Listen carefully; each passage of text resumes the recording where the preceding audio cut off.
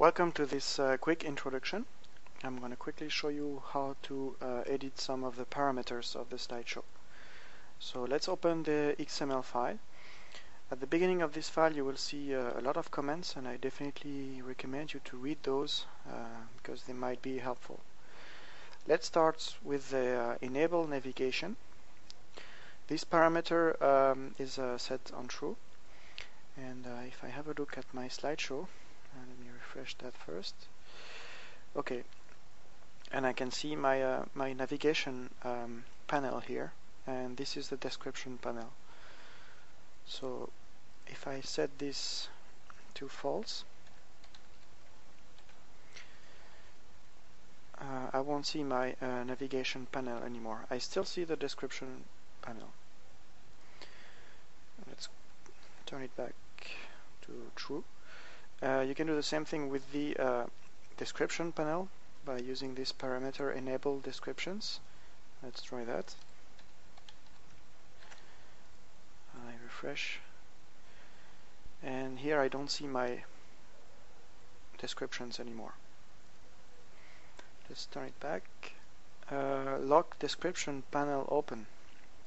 Um, the initial setting is false but you can set it to true.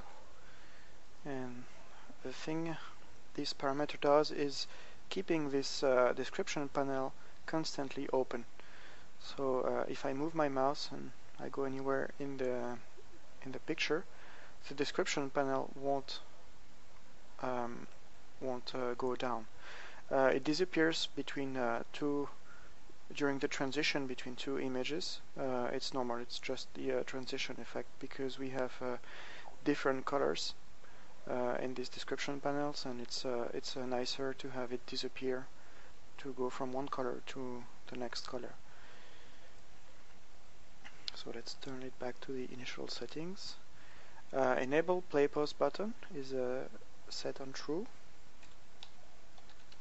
Let's make it false and have a look so this um, enable play pause button is actually do you want to see this button here on the side? Uh, like uh, this is this play button if I click here it's pausing the slideshow. And if I click again it's uh, putting the slideshow in uh, play mode. If you want to make this button disappear let me refresh that. Now you, you won't see it anymore. And the description will take the full width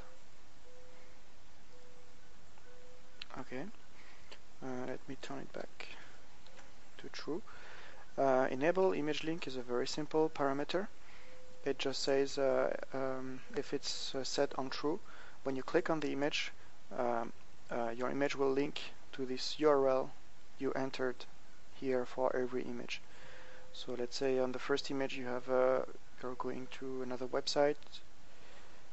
Um, if this parameter is set on true, when you click on the image, it will open this website.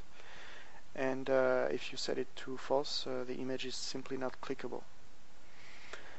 Uh, element transition time is actually um, the transition time of the panels. Uh, let me try a demo.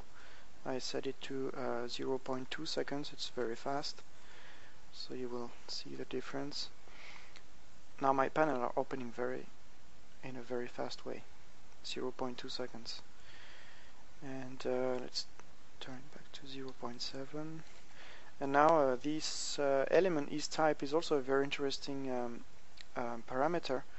And you can select uh, different value of this for this parameter. Let's say you want to have more elastic effect. You'd select this one ease out elastic and you replace that.